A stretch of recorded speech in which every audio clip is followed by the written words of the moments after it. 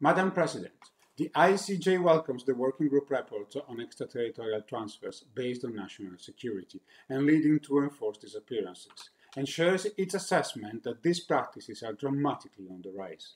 As highlighted by the Working Group, Turkey's unlawful practice of abductions abroad for purported national security reasons are the latest manifestation of these rendition practices.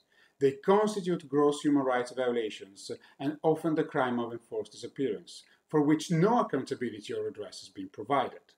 In Latin America, the ICJ continues to be concerned at the lack of justice and accountability in respect of the many thousands of persons who have been subject to enforced disappearance over decades. This pattern of impunity is particularly acute in Colombia, Guatemala, Mexico, and Peru. The ICJ calls on all these states to conduct effective, independent, and prompt criminal investigations to bring perpetrators to justice and to search for all the persons who are alleged or suspect of being victims of enforced disappearance. The ICJ also calls on all states that have not done so, including Guatemala, Venezuela, and Turkey, to ratify or accede to the International Convention on Enforced Disappearances. Mr. Chair Rapporteur, should not UN member states use universal jurisdictions to ensure that the perpetrators of these crimes under international law are held accountable? I thank you.